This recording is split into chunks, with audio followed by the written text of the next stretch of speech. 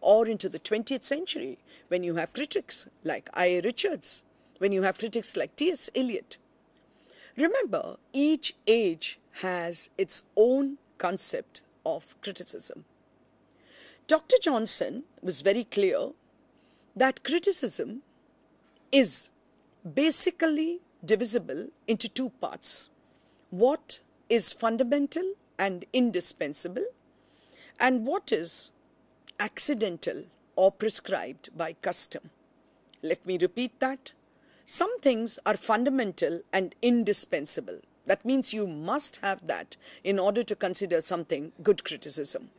You have a second part, something which could be accidental or because of time and custom, it has become sacrosanct.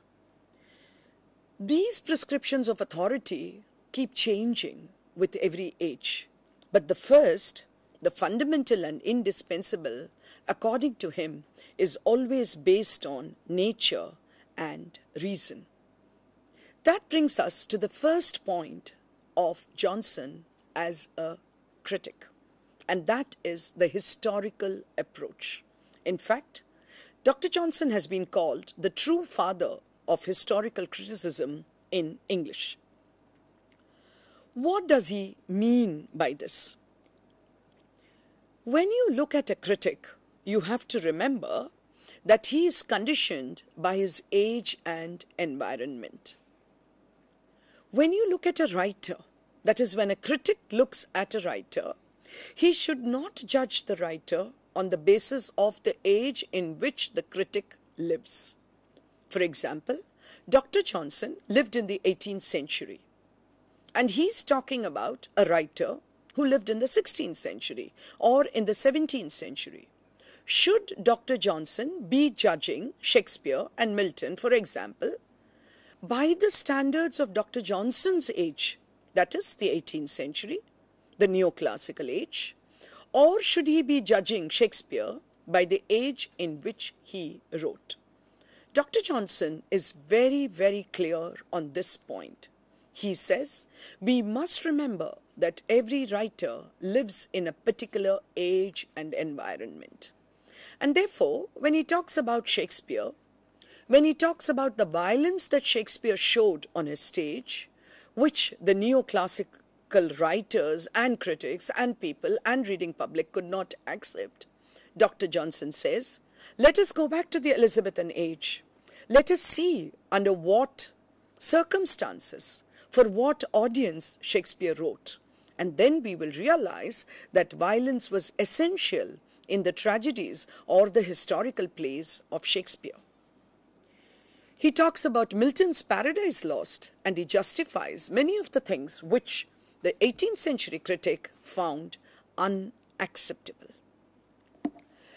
Dr. Johnson was very clear that unless you look at a writer about the age in which he lives, unless you link him with the age in which he lives, unless you are able to see the environment in which he wrote, you will not be able to really understand the greatness, to assess the real contribution of the writer.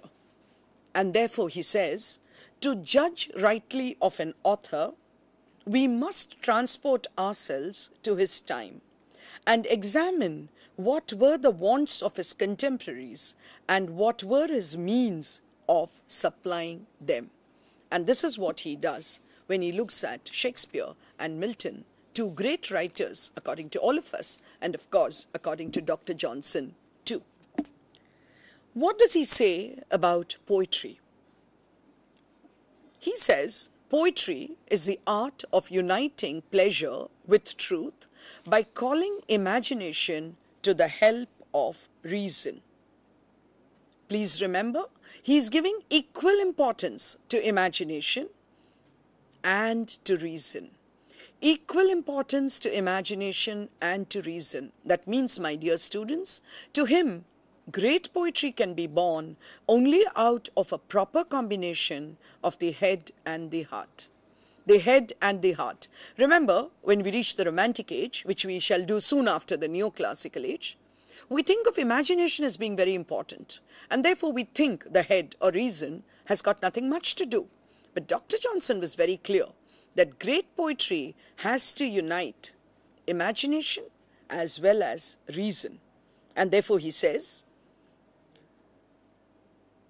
in the imitation of truth, it is guided by reason, and in affording pleasure, it is by imagination. Truth, to be poetic, has to be pleasure giving. You remember an ode which was to be written much later by a very young poet who says, Truth is beauty, beauty, truth. And therefore, truth to be poetic has to be pleasure giving, is what Dr. Johnson says. What is good poetry? After we have defined poetry, what is good poetry? How do we test good poetry? How do we decide that some poetry is good and some is not? Here, he talks about the importance of time. He says that only that poetry which pleases many and pleases long, pleases many and pleases long, he gives importance to the time. How long is a poet popular? How long is a poet read? If it pleases long, that is for a long period of time, then it is good poetry. But at the same time, Dr. Johnson is very clear that it should not appeal to only one class, to one age, to one group. It should please many. Many would mean all sections of society, different sections of society, people of different ages. By ages, I, uh, I mean age.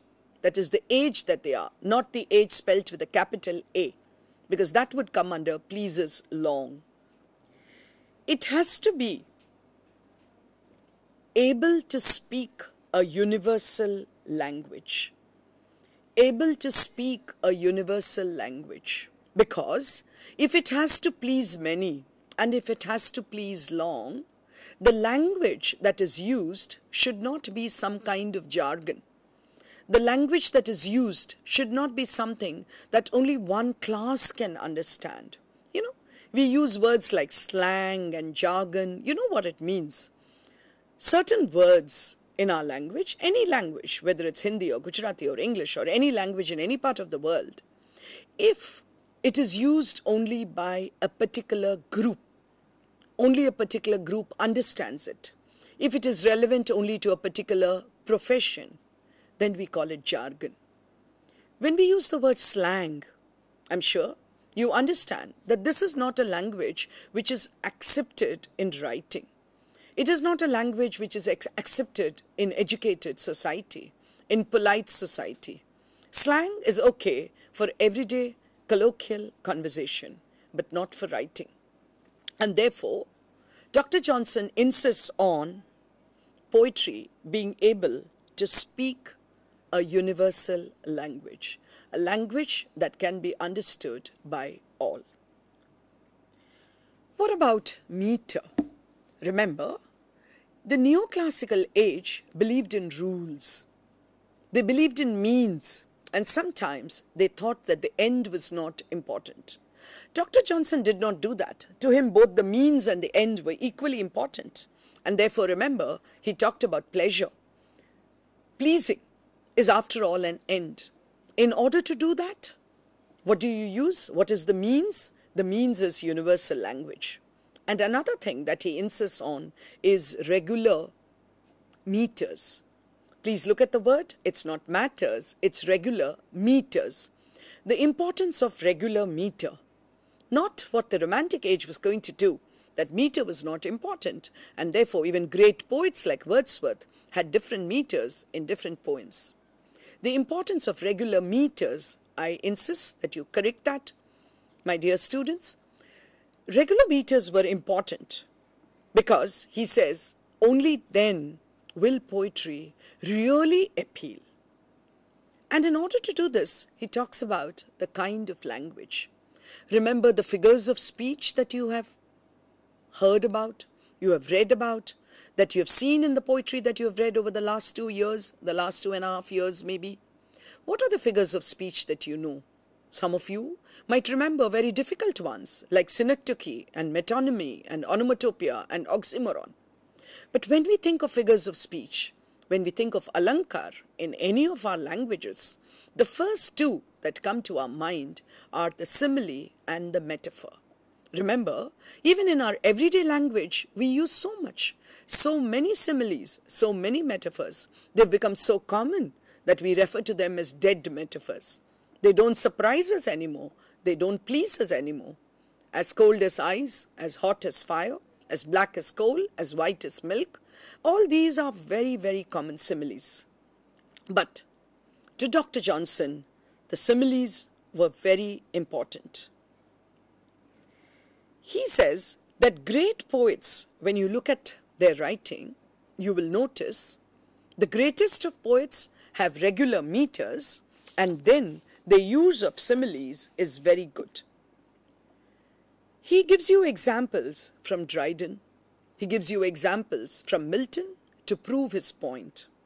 And when he talks about these poets, he is also convinced that he is convinced that the greatest form of poetry is the epic. No wonder there are so few epics in the world. Think of any language in the world, there might not be more than one or two epics. As is true of the English language, and you know that John Milton in the Puritan age wrote the first epic in the English language. Johnson has great praise for the epic as a literary genre. The two, which he does not much care for, and in fact he is very critical of, are the pastoral and the Pindaric ode. My dear students, those of you who have heard of Lycidas, have read Lycidas, have studied it probably as part of your syllabus, might remember that Dr. Johnson was very critical of Lycidas. He thought it was artificial. He thought there was no true grief in it. And one of the reasons for that is he considered the pastoral and the Pindaric ode to be not very good as poetic forms. And therefore, his criticism of these forms. When I talk about the lives of poets a little later, we shall look at this criticism in greater detail. Next uh, slide, please. Then we move on to what he says about drama. He says any good play has to be a faithful mirror of manners and life. Faithful mirror of manners and life. The writer lives in a particular period, in a particular age, in a particular environment. I'm repeating this point again and again, my dear students, because all Johnson's criticism has this as the basis. And therefore, when he talks about drama, he says that it has to be a faithful mirror of manners and life.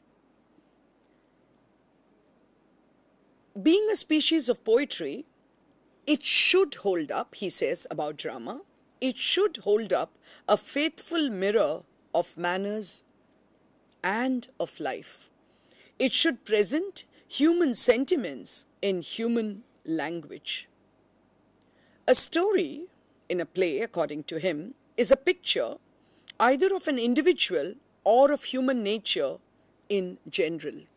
If it be false, it is a picture of nothing.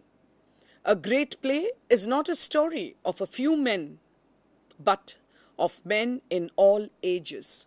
Their actions, their thoughts, their passions is what they depict. All plays depict, all good plays depict. And that is why he says Shakespeare is great because of this reason. Let us look at the unities. Remember, you have studied Aristotle as a critic. You have heard about Aristotle. And you, know, you do know that he talked about the three unities. Remember? The three unities of time, place, and action. According to Dr. Johnson, the other two, that is, time and place, are not very important. He believes in unity of action. He gives us various reasons for it. And if you look at some of his writings, maybe you will find it in detail. But at the moment, I just want to remind you about what is unity of action. That is, all the actions in a play should be one inseparable whole. That means the threads, remember the Vidushak, what he's doing. He's holding the play together. Remember the chorus, they step in whenever you feel that the play is getting out of hand. He believes that all the action in any good play should become one inseparable whole. And therefore, he says that the unity of action is important. He argues why unity of place and unity of time are not important. Do we need to make play credible? Any play, any drama? He says, the necessity of observing the unities of time and place arises from the supposed necessity of making the drama credible. But Dr. Johnson believes that when you go to see a play, you know it's a play. You accept that it's a play. So if at one moment, if this could be Ahmedabad, Gandhinagar, and if the next scene takes you to Mumbai or Delhi, he says, why not? If in one scene you are in 2001 and in the next scene you are in 2005, Dr. Johnson says, so what? What's the problem? Because if you can imagine that you are in 2001, if you can imagine that you are in Ahmedabad, you can also imagine that you are in Mumbai and that you are in 2005. This is how he argues against the need for the unities of time and place. But when he comes to the unity of action, he says that we must, must have unity of action because otherwise the audience or the reader, depending on whether you're reading a play or seeing a play, you will not be able to appreciate it in its totality. When we go to watch a play, all of us know that it is imitation, imitation of life. I've already talked about poetry being a mirror to life, according to Dr. Johnson. And therefore, he says, natural human pleasure comes in imitation. Whenever we see a picture, he says, Dr. Johnson says, it is as good as seeing the original. We cannot see the original. So what is shown to us on the stage?